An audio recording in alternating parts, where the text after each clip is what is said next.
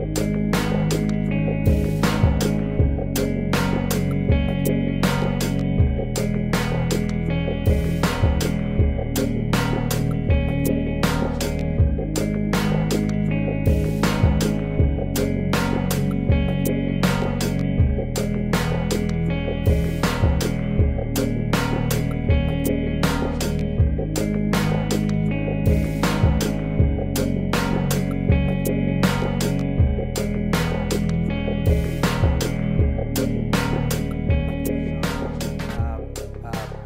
who fit the category that she called out that are doing most of the disruption. She is factually correct. They are all white guys who come in and do that. So I can't disagree with her.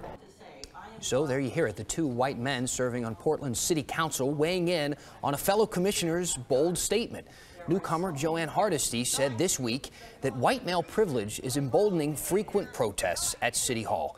KGW's Maggie Vespa joining us now. Maggie, the mayor and Commissioner Fish, they didn't disagree. We heard them there, but they say it's a bigger issue than that. Yeah, Dan, exactly. And they've said as much before that basically loud and profanity fueled protests are more and more an issue at City Hall. In fact, it happened twice today. You just saw one of those clips. There it is again.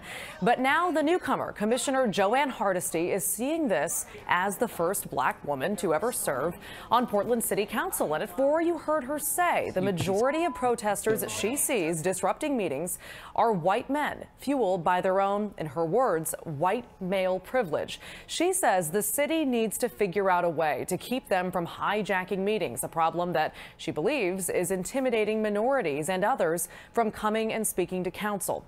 That said, Portland has tried to address this before by barring disruptive people, some for months at a time. In 2015, an activist sued, and a federal judge ruled the city's tactic was unconstitutional. Today, Mayor Ted Wheeler had this to say.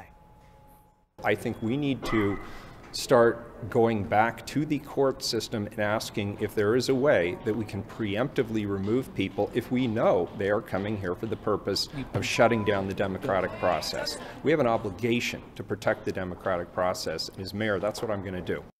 All right, so the mayor didn't get any more specific on that regarding possible future action. City Commissioner Nick Fish says he does expect the city will take a look at council chamber rules and possibly, he says, make changes soon, though he couldn't give a timeline. And by the way, when speaking to us, neither Fish nor Mayor Wheeler used the phrase white male privilege. Well, as we have seen time and time again, a number of people protesting and disrupting city council meetings, including women and people of color.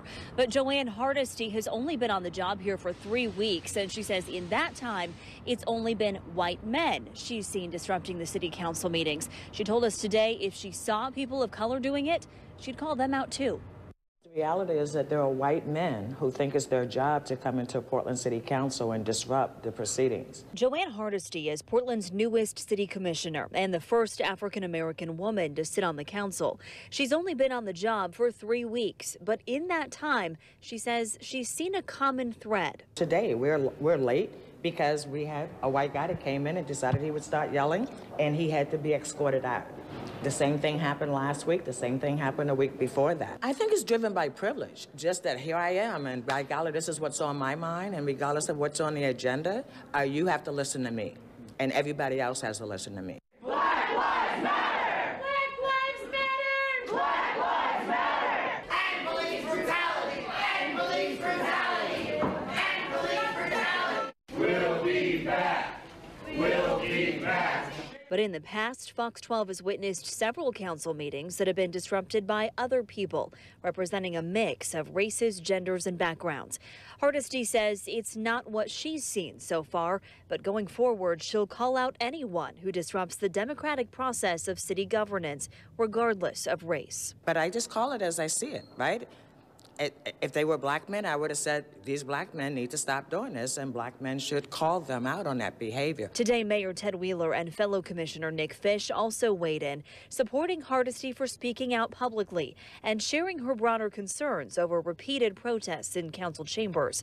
But on the issue of specifically calling out white men, she is factually correct. They are all white guys who come in and do that. So I can't disagree with her. So she spoke her truth, and I, I accept that. I mean, we should we should we should accept that and celebrate that. Um, might I have given the statement slightly differently? Maybe. But, but there are some uh, uh, people who fit the category that she called out that are doing most of the disruptions. Now, the mayor and commissioners Hardesty and Fish do all agree on this. Disrupt- disruptions of any kind will not be tolerated no matter who is behind them. In fact, the mayor expressed frustration again today that the courts have said it is unconstitutional to block these repeat protesters from city council proceedings. He says the only tool they have right now is to kick them out once protests begin. Live at City Hall tonight, Kelsey Watts, Fox 12 Oregon.